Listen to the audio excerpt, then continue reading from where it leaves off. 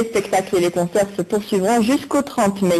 Batna tente de relancer l'activité artisanale dans la wilaya. Un atelier d'apprentissage au métier de potier et autres activités a été initié par la Chambre d'artisanat de la région. Objectif, résorber le chômage et promouvoir également le produit du terroir. Sophia Chouban. C'est l'un des ateliers qui s'est lancé dans l'aventure. Ce centre de formation de Tkout a en effet attiré de nombreux jeunes qui travaillent ici depuis trois mois.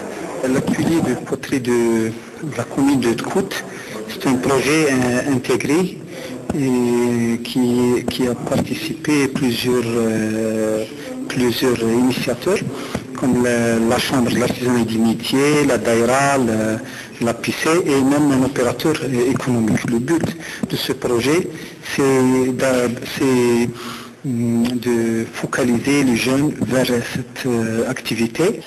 Une activité qui devient de nos jours indispensable pour ces jeunes, et ils l'ont bien compris. Je suis un habitant de Tkout. J'aime l'artisanat. Ça fait un mois et demi que je me suis mis aux techniques de la poterie.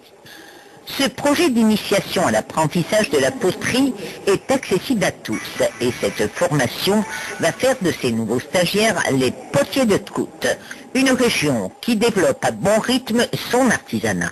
Ce centre d'apprentissage au métier de poterie traditionnelle a drainé beaucoup de jeunes de la région.